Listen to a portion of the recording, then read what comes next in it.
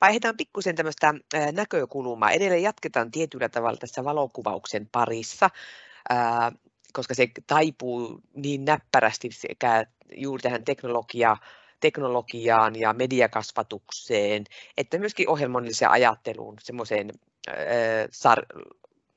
no, tässä ehkä faktainen fiktion tapauksessa ei ehkä niin tähän luokitteluun tai muita, mutta niin valokuvauksen kannalta, mitä äsken esimerkkejä oli, niin oli tämmöistä alkeismatikkaa ohjelmoinnillista ajattelua. Niin, niin, minulla on tosiaankin täällä kaverina Ilona Hunt.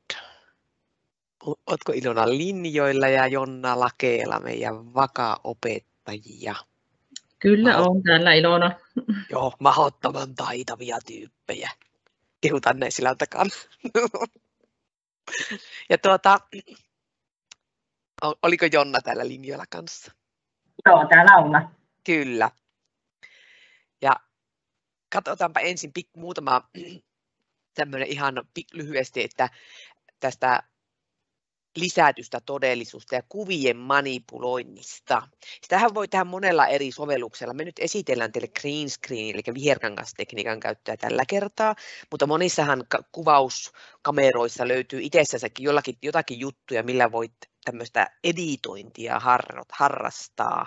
Ja tässä on niin näppärä se, että siinä tavallaan se lopputulema on semmoinen mediakriittisyys, se ajattelu sieltä, kun lapselle syntyykin hoksa, että hyvänä aika, näin helppoa on tehdä fiktiota, eli feikata kuvia ja näin helposti joku toinen saadaan kenties uskomaan, että se onkin totta. Se koira onkin koiralla onkin siivet tai minä olenkin Afrikassa leijonan kirassa tai olen hammaslääkärinä dinosaurukselle. Ja tavallaan sen oman tekemisen kautta syntyy se ymmärrys, alita, joskus jopa alitajuinen ymmärrys, että edes nostaa tässä vaiheessa välttämättä niin esillekään, mutta syntyy se ymmärrys siitä ja osaaminen, että näin helppoa on tehdä feikkiä ja nauttia, tehdä vielä ihanaa feikkiä sitä kaikille, kuten näette kohta niitä Ilonan ja Lotan mahtavia esimerkkejä. Ja me, mitä me esitellään, me ollaan tehty tämmöisellä Green Screen by Do Ink-apilla ja Apple Storesta se tuota iPadille, kun meillä on Rovaniemellä iPadit käytössä, niin tuota, sieltä keskitetyn hallinnon kautta olemme ladanneet. Tämä on maksullinen sovellus, muutamia euroja maksoi, olisiko ollut 499 tai jotakin siihen suuntaan, se, aina se yksi lisenssi. Ja tässä on sitten vähän green screen tekniikasta laitettu, että siinä niin kuin tavallaan valokuva tai video laitetaan haluttuun taustaan, ja kun se kuvataan sitä vihreää kangasta vasten, tässä tapauksessa vihreä, kun se tunnistaisi tässä ohjelmasta vihreä, mutta sen voisi säätää myös eri värille vihreää kangasta vasten, niin se vaikka se lapsi voidaan asettaa sitten vaikka Leikolinnan sisäänkoteen kohtaan esimerkkejä. Ja mulla on tässä diassa teille, tässä niin näkyy tämmöisenä se tekniikka näillä tontuilla, eli tontut on, lapset on askarellut tonttuja, sitten on pantu tämmöiselle vihreä eurokankaasta sisältää tuotesijoittelua ilmeisesti tämä lausahdus eurokankaasta ostetulle vihreälle tämmöiselle lakanakankaalle. Kun meni eurokankaaseen ja sanoi, että mä tarvitsin green screen kangasta, niin ne sitten hankki sieltä semmoisen. Niin, niin tuota, green, vihreälle kankaalle. Sitten mulla oli valokuva tästä meidän mökkipihalla ollessa koivusta. Ja sitten minä tämän sain sillä ding ding ding pyöriteltyä, kun se pystyy tällä pyörittämään sitä otettua tonttukuvaa siitä, rajattua se sopivan kokoiseksi. Ja sitten ne istuvat tönöttää tuolla ne tontut tuolla meidän koivussa. Ja oikeasti ne tontut tuli tuon, eikö, tämän kokoisia, ja nyt ne näyttää vähintäänkin aika kuinka isoilta. Ja taustalla voi tämä, mikä täällä on, niin voisi olla myös video, tämä taustakuva. Ja samalla lailla se staattinen valokuva voi liittää siihen töröttämään. Tekniikka lyhyestä, lyhyeltä ytimekkäsi tuosta. Ota valokuva viherkangasta vasten, ota taustakuva, liitä ne yhteen. Ja tässä teille on sitten työvaiheet vielä laitettu, että jos innostutte juuri tästä sovelluksesta ja haluatte testata tätä, niin löydätte tuosta teen näin, teen näin, teen näin. Nyt en anna tätä tarkemmin käymään läpi, koska haluan jättää mahtavasti meille aikaa Ilonalle ja Jonnalle, että ne saa kertoa, miten on hyödyntänyt pedagogisesti oppimisen eri osa-alueilla laaja-alaisesti hyödyntäen, että tulee niin kaikkia näitä oppimisen osa-alueita monia hyödynnettyä. Ja Ilona aloittaa. Esimerkiksi esittele Ilona vähän itseäsi, kerro vähän myöskin sitä sinun koulutuksellista taustaa. Mä juuri tämän asian puitteissa mainosta tässä vaiheessa. No niin, eli terve, terve kaikille ja koitetaan vielä, vielä jaksaa tässä hetki aikaa. Mä oon tuota, opinnäytetyön tehnyt viime keväänä tähän kyseiseen sovellukseen liittyen. Mä oon tehnyt sen aiheesta, että lisätyn todellisuuden hyödyntäminen varhaiskasvatuksessa Green Screen by Doing-sovelluksen avulla. Ja tuota, öö, olen vähän niin kuin itse opetellut silloin alun perin käyttämään tätä ohjelmaa ja sitten, sitten tuota, aina vähän pieniä, pieniä lisäjuttuja juttuja sitten tuota, tuota, joistakin koulutuksistakin saanut. Me ollaan käytetty tätä aika paljon. Mä itse olen nyt niin kuin pienten ryhmässä töissä, töissä ja tuota, tässä, tässä ensimmäisessä kuvissa niin ollaan tehty isänpäivä- ja äitienpäivä korttia tämmöisillä, tämmöisillä meiningeillä ja tuolla missä lapsi on tuossa kukaan, kukaan sisällä, niin sieltä valittiin ensin, ensin tuolta Pixapeista, missä on ilmaiset nämä kuvat ja siellä ei käyttö, käyttörajoituksia kuvissa ole, ole, niin se on siellä hyvä pohja, mistä etsiä näitä taustakuvia. Niin valittiin muutama tämmöinen kukka sieltä valmiiksi, jonka kuva tulostettiin ja sitten meillä nämä pienet ihmiset sai itse valita sen kukaan, mikä miellytti miellytti ja sitten, sitten otettiin lapsesta kuva sitä vihertaustaa vasten ja istutettiin sitten tuonne, tuonne korttiin. Ja isänpäivänä sitten meillä oli vastaavasti vähän eri värisiä kirjekuoria siellä, että mihin, mihin sai lapsi taas itse valita, että minkä värisen meni. Saa laittaa seuraavan dian. Ää, tässä, tässä meillä oli metsän eläimet teemana. Ja tuota, meillä tämä oli semmoinen isompi teema, teema että mitä, mitä eläimiä siellä metsässä asustaakaan. Ja jokainen lapsi sai valita kanssa, tulostettiin taas näitä metsäeläimiä sieltä kuviksi ja lapset sai itse valita ja sitten on, on liitetty se lapsi sinne kuvaan. Lapset sai itse tuota, myöskin niin kuin siirtää itseään siinä, siinä ruudulla, että mihin kohtaan sitä kuvaa he halusi mennä.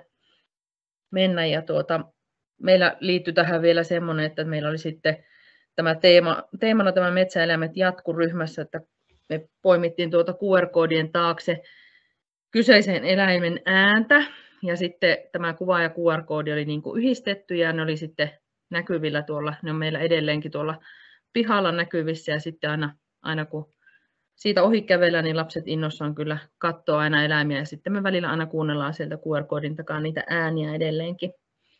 Ja tuota, niin, niin, no joo, siinä, siinä semmoisena, tuossa missä on tuo tyttö tuon kaurin kanssa ja sitten poika tuolla noiden ilvesten kanssa, niin siinä on, on käytetty pelkästään yhtä taustakuvaa, tai siis pelkkä taustakuva ja se lapsi on liitetty siihen. Ja sitten tuossa isossa kuvassa, missä tuo yksi tyttö on tuolla monen eläimen keskellä, niin sitten siinä on sitten vähän enemmänkin käytetty green screenia, että alkuperäisessä kuvassa oli pelkästään puu ja penkkiä, penkkiä tuo tausta, että sinne on sitten green screenillä tuotu kaikki, kaikki eläimet ja tuo lapsi, lapsi sinne, että siinä on joutu vähän enemmän kuvamanipulaatiota käyttämään.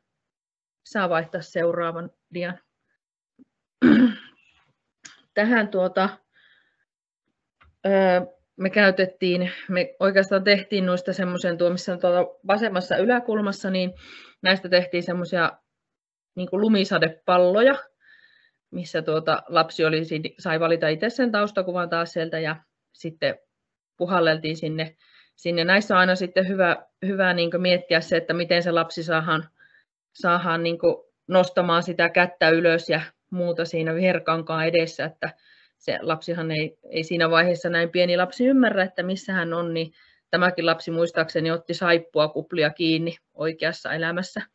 Ja sitten saatiin se, saatiin se tuonne hyvin, hyvin näyttämään lumihiutaleita kiinni ottamaan.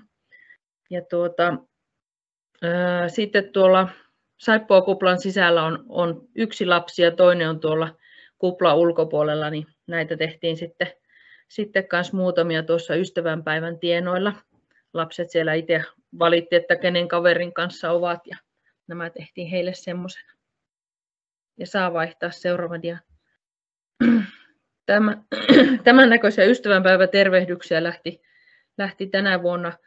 Me, tähän meillä oli vielä semmoinen isompi projekti, että vanhemmat, vanhemmat toi kotoa tuota nimellä ja postimerkillä varustetun kirjekuoren, mihin me sitten täällä duunattiin kuvat ja käytiin viemässä postilaatikkoon ja ne lähti sitten postin mukana perheiden valitsemille ystäville. Ja saa vaihtaa tuota. Tässä oli, oli teemana tämmöinen matkusta ympäri maailmaa. Tämä ei ollut oikeasti meidän, meidän lapsiryhmän teema, tämä oli tuolta isoista, isojen lapsiryhmästä. Siellä oli semmoinen ajatus, että tutustuttiin eri kulttuureihin. Ja tätä matkaa taitettiin tämmöisellä kuumailmapallolla. Ja tuolla kuumailmapallon kyydissä oli ne, ne lapset, kenen, kenen kulttuuriin, siellä on, oli paljon tuota, siinä ryhmässä tämmöisiä toisesta kulttuurista tulevia lapsia, niin ne, ne oli aina kyydissä tuolla ilmapallossa, kenen, kenen tuota, kulttuuriin tutustuttiin. Ja sitten tässä ryhmässä tehtiin vielä sillä tavalla, että sitten leikattiin aina tuo kuuma ilmapallo matkustajineen sinne ryhmän seinä, seinälle ja tuota, nähtiin, että ketkä oli jo olleet matkustajina ja sitten taas, taas seuraavat sinne koriin ja näin jatkuu tämä teema heillä siellä. Sitten saa vaihtaa dia. Tämä oli myös yhdestä isojen ryhmästä. Otin tähän nyt tämmöisen papukan ja heillä oli alun perin semmoinen Vili Varpunen, joka, joka kans matkusti ympäri maailmaa ja toi aina lähetti postikortin sieltä ja lähetti terveisiä, terveisiä sieltä, missä, missä hän matkustikaan, mutta otin tähän nyt tämmöisen papukajan, koska se on helpommin nyt näkyvillä tästä, kun tuo Varpunen olisi ollut, niin tämmöiselläkin ajatuksella pystyy tätä teemaa viemään eteenpäin, että tutustutaan vähän. Tämähän voisi siis tehdä ihan vaikka Suomesta tai vaikka kesäloman jälkeen, kuka on missäkin käynyt, niin ottaa sieltä vaikka jonkun kuvan ja laittaa laittaa eteenpäin ja jaettavaksi koko yhteisölle. Hyvä ja saa vaihtaa kuvaa. No tässä sitten vähän koottuna, mihin muuhun meidän ryhmässä green screenia on käytetty. Käden taidoissa tuolla onkin nyt tuo lumisadepallo, mistä jo äsken mainitsin, eli siellä on lapsi sitten itse leikannut sieltä lumisadepallo, johon tämä kuva vaan liitettiin.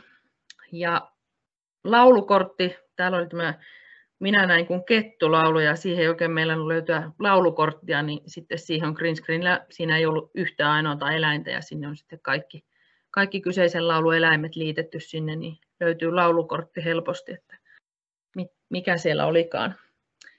Ja sitten sieltä löytyy autoleiki ajokortti. Meillä oli, oli hyvät, hyvät semmoiset, missä pikkumopoilla tuossa ajettiin ympyrää ja siellä oli huoltoasemat ja autopesulat ja muut, niin tietysti tarvittiin myös ajokortit sitten, sitten niin, niin tämmöiset tehtiin koko ryhmän lapsille tehtiin samalla pohjalla tuo. Saa vaihtaa dia. Sitten täällä on vasemmassa yläkulmassa tuolla rakennustyömiehenä, niin tämä ei ollut tämän, tämän kauden, mutta yhdellä kaudella meillä oli hirvittävästi innokkaita rakentajia tässä ryhmässä ja meillä oli vasuseinänä semmoinen, missä oli, oli tämmöiset työmiehet sitten sitten ja lapset oli sitten heidän kasvonsa laitettu tunne työmieheksi. Ja sitten yhdessä ryhmässä oli käsit, isosti käsiteltiin aihetta dinosaurukset ja sitten vähän siinä, että minkälaisia ne dinosaurukset olikaan, niin sieltä sitten kanssa käytettiin green screenia vähän apuna miettimään, että miten siellä olisi voitu dinosaurusten maailmassa elää. Ja tämä pipsapossu on sitten ihan ihan semmoisesta, että lapsi sai tuo lempikirjan kirjan päiväkotiin ja sitten valita aukeamaan, mihin hän halusi mennä. Ja täällä tämä pieni tyttö on sitten halunnut mennä tuonne kura lätäkköön pomppimaan Pipsapossun porukan kanssa. Ja saa vaihtaa dia.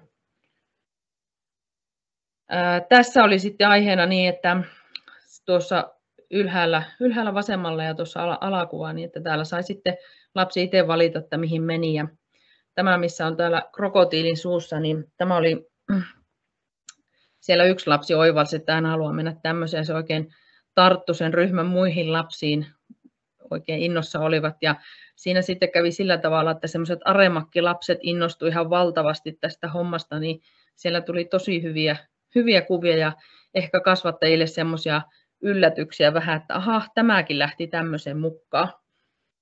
Sitten tuossa oikealla. Tämän, tämän kuvan otin ihan siksi, että tämä tyttö, joka tässä, tässä kuvassa on, niin hän on tuota, täyttämässä nyt tässä loppukevästä kolme. Ja hän oli mun vieressä, kun me duunattiin tätä kuvaa. Ja tämä ei ollut ollenkaan tämmöinen tämä tausta alun perin, mihin, mihin tuota oltiin menty ja menossa. Ja tämä on ihan tämmöinen kädentöiden askartelumalli, tämä mursu, mikä tässä on. Ja, ja tuota, tämä tyttö oli siinä vieressä, kun mä otin täältä green screenistä semmoisen vanhan pohja, mihin mä aloin liittää tätä hänen kuvaansa ja tätä mursua, ja mulla oli taustakuvana sitten siinä sauna, sauna sisäosasta, ja sitten tämä lapsi rupesi ihan hirveästi nauramaan, että enhän minä voi olla saunassa toppapuku päällä, että hän niin kuin huomasi siinä, että no eihän tuo voi niin kuin oikeasti olla totta, että hän olisi tuolla, ja sitä paitsi tuo, tuo, tuo hyljekin on kyllä oikeasti paperia.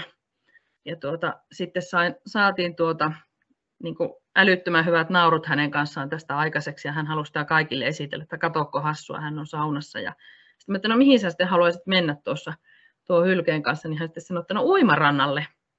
Ja vasta hänellä sitten oli hauskaa, kun hän kastuu niin kuin tämä toppapuku päällä. Ja, ja tuota, sitten me teetettiin tämä hänelle vielä, vielä niin kuin valokuvaksi, tai siis paperi, paperiversiolle teetettiin se, ja, ja tuota, se on ollut sitten kotona siellä kotona hyvin tämmöinen, vanhemmat on kertonut sieltä, että, että se edelleenkin on hänen tämmöinen lempikuvansa, mitä hän esittelee kaikille siellä, että tämmöinen vahingossa syntynyt tuotos avasi lapselle hyvinkin tämän fakta ja fiktion ero, ja siitä tuli oikein, oikein hauska juttu tähän, tähän, että jopa tämmöinen alle kolmevuotias hoksasi tämän asian tässä. Sitten saa vaihtaa dia. Tähän me sitten ajateltiin vielä nostaa tämmöinen, että pääsiäinen lähestyy, niin siitä hyvä idea napata itse kellekin sinne toteutettavaksi. Helppo toteuttaa ja aika nopeakin. Hyvä. Saa kysyä, jos on kysymistä ja Jonna voi sitten jatkaa. Kiitoksia Ilona. Jatketaan tässä vaiheessa Jonnan esimerkkeille ja sitten kysytään lopussa yhteiskysymyksiä teiltä sitten. Jonna, ole hyvä. Joo, kiitoksia. Eli minun ryhmä on 5-6-vuotiaita lapsia ja tota, niin, niin, kans, kans kerron siitä, että mitä, mitä täällä puuratassujen ryhmässä on niin kuin lasten kanssa tehty. Niin, niin tota, meillä syksy alkaa niin, että me annetaan jokaiselle kotiin täytettäväksi semmoinen lapsihaastattelu. Ja siinä kysellään sitten lapsesta ihan erikseen tämmöisiä lempileikkejä ja lempilauluja ja lempisatuja, mistä ruoasta pitää ja lapsi saa piirtää oman kuvan ja miettiä jo silloin vähän, että minkä väriset hiukset on tai minkälaisen työn nyt kukainenkin kotona tekee. Ja, ja sitten siinä on vielä ollut semmoinen mukana semmoinen omena silloin syksyllä, johon on saanut kirjoittaa kotona pohtia, että mitä haluaisi niin kuin täällä, täällä päiväkodissa tehdä. Ja sitten se jatku siitä se meidän idea niin, että, että tota, meillä on tosiaan tämmöinen hyvinvoinnin vuosikello Rovaniemellä käytössä ja, ja siellä tota, niin, niin, sitten on, on yksi idea tämmöisestä lapsipäivän tähtenä ja tota, se haastattelurunkokin on poimittu siitä ja, ja tota, niin, niin, keksittiin, että pidetään torstaisin tämmöistä lapsipäivän päivän tähtenä ja tota, niin, niin, lapsi sai silloin, tai edelleenkin meillä pyörii tämä, niin tuoda niin kuin lempikirjansa ryhmään, mikä on oma lempikirja. Ja tota, sitten luet, luetaan ryhmässä, siinä omassa pienryhmässä tämä lapsesta tehty haastattelu. Ja tota, niin, niin katsotaan, että onko se toive toteutunut, mitä lapsi on silloin syksyllä miettinyt, että mitä haluaisi ryhmässä tehdä. Ja tota, luetaan sitä lapsen tuomaa kirjaa, ja sitten lapsi saa valita siitä kirjasta, joko jonkun yksittäisen kohdan tai aukeaman tai sivun, jossa hän haluaa tulla kuvatuksi.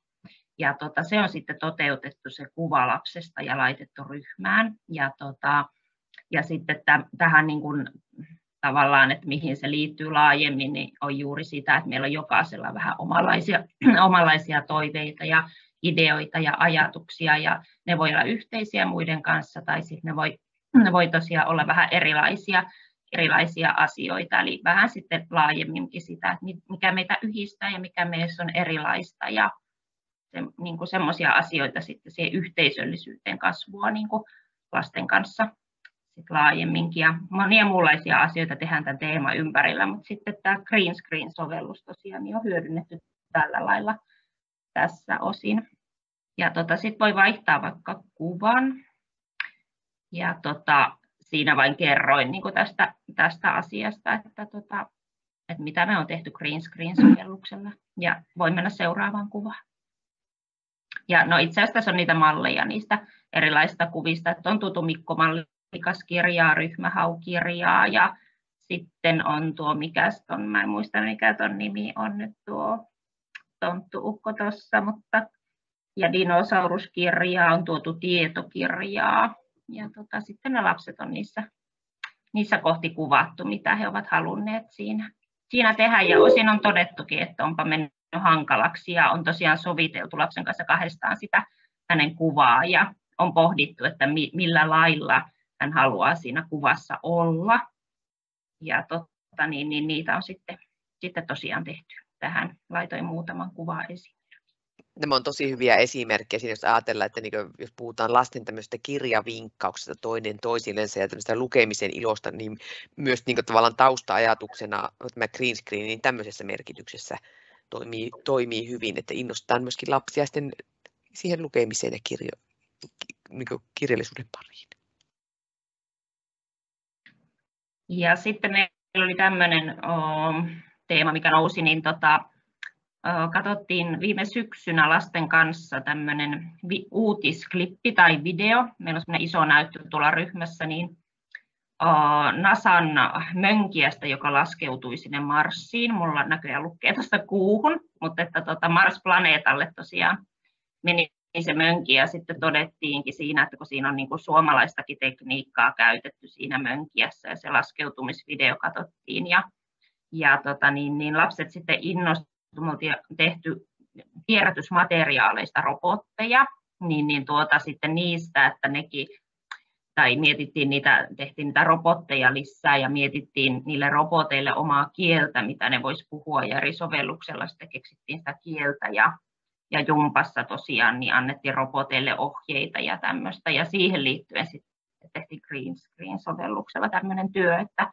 että mihin sen robotin halusi niin kuin matkustavan, että osalla se oli joku planeetta tai osalla se oli, että se lensi jollain merellä tai tulivuorimaassa. Ja kans katsottiin sieltä piksapeista sitten sopiva tausta sille, että mikä sitä lasta miellytti ja mitä hän etukäteen oli ajatellut ja minkä kuvan halusi sieltä poimia. Ja siinä yhteydessä pohdittiin kanssa ja keskusteltiin siitä, että kun se on semmoinen esimerkiksi semmoinen paikka, missä on niin kuin luvalla, luvalla voi ottaa niitä kuvia sieltä. Ja tuota, tässä on sitten yksi, yksi kuva siitä. Ja vaikka voi vaihtaa kuvan.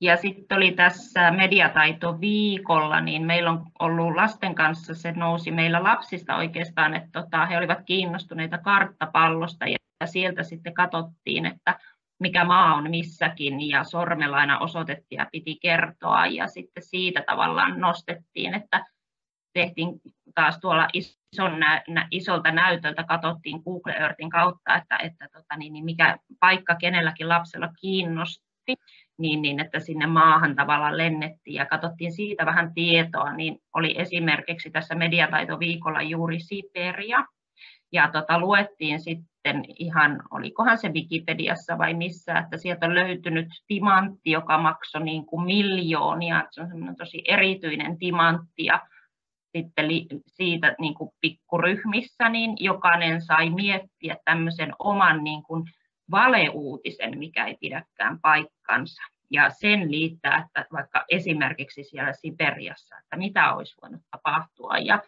jotkut lapset keksi, että sieltä löytyi luolasta sellainen suuren suuri timantti, ja osa keksi, että siellä oli villisikoja ja se uhkasi jonkun henkeä ja he karkotti sen vuorille ja vuoristoon ja, ja siinä tuli sitten tämmöisiä erilaisia ideoita ja ajatuksia ja, ja sitten toteutettiin kanssa, että etittiin siihen liittyvä kuva ja sitten green screenillä otettiin, tai vihreätä kangasta vasten lapsista kuva ja liitettiin siihen ja vielä kirjoitettiin siitä semmoinen uutisotsikko ja tekstiä laitettiin sitten pyörimään vielä tuonne meidän käytävälle nämä uutiset sitten, sitten tämmöiset vale, valeuutiset, jotka, jotka siellä sitten li, liikkuu ja vanhempienkin nähtävillä ollut.